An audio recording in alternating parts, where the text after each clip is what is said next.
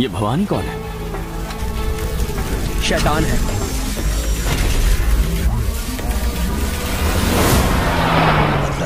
तुम्हें दो मिनट का वक्त देता हूँ। हो सके तो मुझे मारकर। इस हीरो को मैं दौड़ाऊं पैसे दे रहा इसलिए तू मुझे मार रहा है। घोड़ा भी हीरो बनेगा। पैसे भी वो लगाएगा। उन बच्चों को मारकर उन्हें फांसी पर लटकाया मैं उसी दिन मर गया था। मुंबई शहर में क्या जेडी के को टीचर है एक एनजीओ वर्कर कैसे जेडी ने बदला है आखिर खुद को? कैसे सुधरेगा डिटेंशन कैंप का हाल? नमस्कार दोस्तों, एक बार फिर से आप सभी का स्वागत है बॉलीग्राज स्टूडियोज के एक खास नए वीडियो में, और मैं हूँ आपके साथ अनुष्का त्यागी। पिछली वीडियो में हमने देखा था कि कैसे एक आम लड़के से गुंडा बना भवानी, यानी कि रणदीप हुड्डा डिटेंशन कैंप में रह रहे बच्चों को टॉर्चर कर अपने द्वारा किए गए जुर्म को उनके सर पर डालता है। वो ऐसा काफ़ी वक्त से करता आ रहा है। दूसरी तरफ़ दोस्तों, जेडी नाम के एक अल्कोहलिक टीचर को उसके कॉलेज इंचार्ज एक डिटेंशन कैंप में एज अ ट्रेनी चार महीनों के लिए भेजते हैं। जेडी जिसने पहले कभी वो वॉलंटियर सर्विस नहीं दी थी। दोस्तों, उसके लिए सभी चीज़ें बिल्कुल पहाड़ चढ़ने की समान थी। जेडी एक ऐसा टीचर था जिसे देखकर उसके टीचर होने पर सभी कुछ शक होता था। क्योंकि न दोस्तों, वो देखने में किसी गुंडे की तरह लगता था।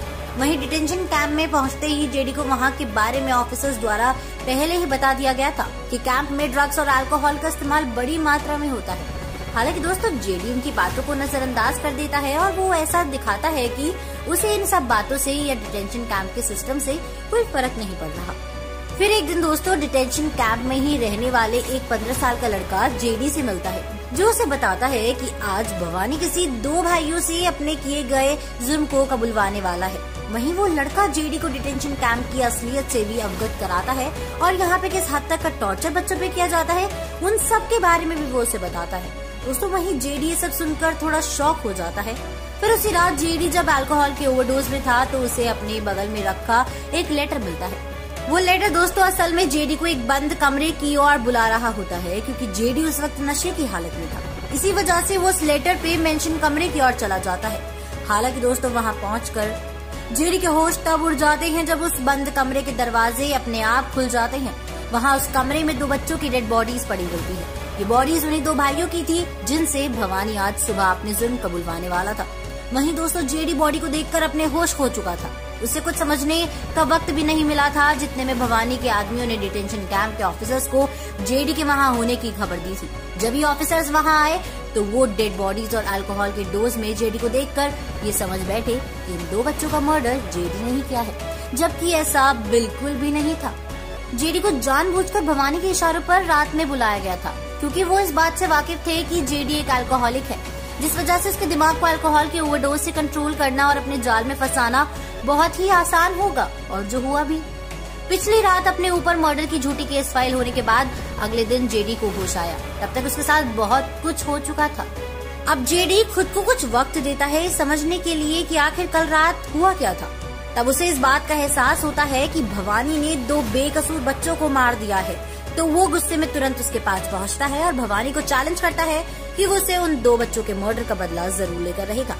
अब आगे की कहानी में जब जेडी अपने को टीचर यानी कि करीना कपूर से मिलता है तो वो उससे काफ़ी ज़्यादा गुस्सा होती है। वो कहती है कि मैंने ही तुम्हें उस कैंप में एज अ ट्रेनी भिजवाया था ना? ना कि कॉलेज के इंचार्ज ने। मैं एक एनजीओ के लिए काम करती हूँ, जिस वजह से मुझे लगा कि तुम उस डिटेंशन कैंप में हो रहे बच्चों को सुधार सकते हो। पर मैं गलत थी। जेडी की को टीचर को ऐसा लग रहा था कि जेडी ने ही उन बच्चों का मर्डर किया है, जिस वजह से अगर जेडी उसे समझाने की कोशिश करता है तो वो नहीं मानती। इसके बाद जेडी वापस डिटेंशन कैंप में आ जाता है और अपनी अल्कोहल की आदत को वो हमेशा के लिए छोड़ देता है। जेडी के अंदर गुस्सा और उन दो बच्चों को ना बचा पाने का गिल्ट दोनों थे। इसी वजह से जेडी काफ़ी ज़्यादा बदल चुका था। वो अब एक केयरलेस अल्कोहलिक टीचर नहीं रहा। उसके अंदर अब उन बच्चों को इंसाफ दिलाने की आग और डिटेंशन कैंप में के बाकी बच्चों को भवानी के जाल से मुक्त कराकर उन्हें सुधारने की चाहत दोनों थी। इसी बीच जेडी को पहले मिले उस पंद्रह साल के बच्चे से ये पता चलता है कि वो जेडी की को टीचर करीना कपूर को जानता है। क्योंकि वो एक सोशल वर्कर है, जिनके एनजीओ ने एक बार उन सभी बच्चों से भवानी के खिलाफ वीडियो रिकॉर्ड कर बयान दर्ज करवाए थे। हालाँकि जब भवानी को इस बारे में पता चला तो वो टीचर यानी करीना को गन पॉइंट पर रखकर वीडियो रिकॉर्डिंग्स की पेन ड्राइव को अपने कब्जे में ले लेता है। उसके साथ ही धमकी भी देता है कि वो इस बार एनजीओ के वर्कर को छोड़ दे रहा है। हालाँकि दोबारा से अगर उनके काम के बीच में कोई पड़ेगा तो वो किसी को नहीं छोड़ेगा। भवानी से मिली इस लड़की को अब पूरा एक साल हो चुका है, पर ना ही अब उस एनजीओ का पता है और ना ही किसी ऐसे इंसान का जो हमें यहाँ से आज़ाद करा। जेडी उस बच्चे की बात को गौर से सुन रहा था। उसे ये भी पता चला कि यहाँ रह रहे कई बच्चों ने तो कोई क्राइम भी नहीं किया था। उन्हें हालाँकि झूठे आरोप में किसी ने फंसा दिया, जिस वजह से आज उनकी ज़िंदगी भी इतनी ज़्यादा खराब बन चुकी है। दूसरी तरफ़, जेडी दोबारा से अपनी उसी को टीचर यानी कि करीना को फ़ोन से कांटेक्ट करता है। वो उसे सारी बात बताता है और ये भी बताता है कि उसे पता है कि आज भी वो टीचर और उसका एनजीओ बच्चों को आज़ाद कराना चाहता है। हालाँकि बच्चों को अब ऐसा लगता है कि भवानी के डर से कोई भी इस मामले में नहीं पड़ना चाहता, जिसकी वजह से उन्हें आज़ादी नहीं मिल सकती। जेडी की बात को सुनकर उस टीचर, यानी कि करीना कपूर को याद आता है कि उसके पास आज भी बच्चों के बयान की रिकॉर्डिंग उसके लैपटॉप में मौजूद है। जिस बारे में वो जेडी को बताती है। जेडी दोस्तों, ये बात सुनकर काफ़ी खुश हो जाता है क्योंकि अब उसके पास एक मज़बूत सबूत है जिससे कि वो भवानी को सजा दिलवा सकता है। हालाँकि, जेडी जब उस को टीचर यानी कि करीना से बात कर रहा था तो भवानी उसी जेडी के पीछे खड़ा था। जिसे देख जेडी के भी होश उड़ जाते हैं। भवानी और जेडी की नज़र जैसे ही एक दूसरे पर पड़ती है जेडी फ़ोन पर बात करना बंद कर देता है।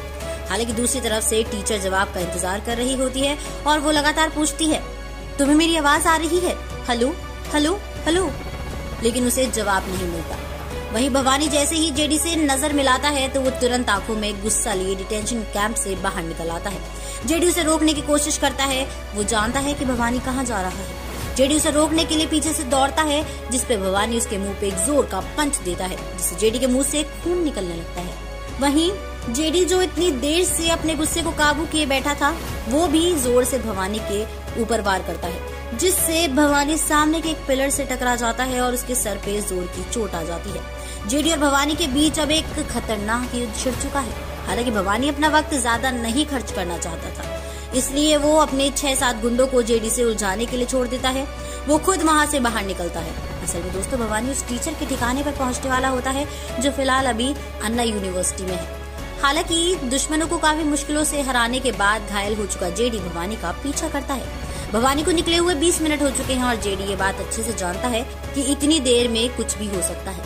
हालाँकि काफ़ी जोरदार ड्राइविंग करने के बाद जब जेडी अन्ना यूनिवर्सिटी पहुँचता है तो वो पहले से ही पुलिस की तीन जीप्स को यूनिवर्सिटी के एंट्रेंस गेट पे पाता है। जेडी बिना वक्त जाया किए जब दौड़कर अंदर जा रहा होता है तो उसके अंदर एक डर भी होता है कि कहीं वो लेट तो नहीं हो गया। कहीं भवानी ने उस टीचर के साथ कुछ गलत तो नहीं कर दिया। हालाँकि जब जेडी अंदर पहुँचता है तो वो अपने बगल में भवानी को पुलिस द्वारा ले जाता देखता है। इसके अलावा अंदर पूरे कॉलेज के इंचार्ज और जेडी के को टीचर भी मौजूद होती हैं, जिन सबकी नज़र जेडी पर चली जाती है। जेडी को कुछ समझ नहीं आ रहा होता है कि आखिर ऐसा हुआ क्या है। उसी बीच भवानी जो पुलिस की हिरासत में आ चुका था, वो जेडी के बगल से गुजरता है और जेडी को घूरता है। वो धीमी आवाज़ में कहता है, इंतज़ार करना आपकी बार वापस आऊँगा तो तू और तेरी ये नई साथी को कोई नहीं बचा पाएगा। और एक खलनायक की हँसी छोड़ भवानी पुलिस की जीप में बैठ जाता है। असल में दोस्तों, जेडी के पूछने पे उसकी को टीचर बताती है कि जिस वक्त वो भवानी से लड़ रहा था तो वो उसे रोकने की कोशिश कर रहा था। उस वक्त जेडी का फ़ोन ऑन था और वो टीचर उस वक्त कॉल पे उसकी आवाज़ को साफ़ साफ़ सुन पा रही थी। इसी वजह से वो समझ गई थी कि भवानी को प्लान और वीडियो रिकॉर्डिंग के बारे में सब कुछ पता चल चुका है, जिसे खोजते हुए इस यूनिवर्सिटी में आने वाला है, जिससे न सिर्फ़ टीचर की जान को, बल्कि यूनिवर्सिटी में मौजूद बच्चों और बाकी के स्टाफ की जान को भी खतरा हो सकता था। जिस वजह से टीचर ने वीडियो रिकॉर्डिंग्स को ऑनलाइन अपलोड कर दिया और फिर पुलिस को भी भवानी के बारे में खबर कर दी। वीडियो रिकॉर्डिंग्स पिछले आधे घंटे में दस के व्यूज़ पार कर चुकी थी, जिससे ज़्यादा से ज़्यादा लोगों को भवानी के सच के बारे में पता चल चुका था। इसी वजह से ministry of women and child welfare ने तमिलनाडु के स्टेट से संपर्क कर उन्हें ऑर्डर दिया है कि भवानी को कड़ी से कड़ी सजा दी जाए। इसके साथ ही दोस्तों डिटेंशन कैंप के बच्चों को भी एक हफ़्ते के अंदर अंदर स्टेट के सेफ़ जुवेनल होम में शिफ्ट करा दिया जाएगा, जहाँ पे उनके सुधार पर ध्यान दिया जाएगा। इसके साथ ही स्टेट को इतने बड़े क्रिमिनल पकड़वाने में मदद करने के लिए तमिलनाडु सरकार, जेडी और उसकी को टीचर को वीरता का अवार्ड देकर सम्मान करने वाली है। इसके साथ दोस्तों, अब यूनिवर्सिटी के इंचार्ज भी जेडी को पहले की तरह एक अल्कोहलिक टीचर की तरह नहीं, बल्कि एक निडर, यानी कि ब्रेव और बड़े इंसान के रूप में देखने लगे हैं। तो दोस्तों, आज की वीडियो में फ़िलहाल बस इतना ही, लेकिन आप हमें कमेंट सेक्शन में बताइए कि आपको ये वीडियो कैसी लगी। अगर वीडियो पसंद आई है तो उसको लाइक और शेयर करना बिल्कुल भूलें। हमारी आज की राइटर है खयाती।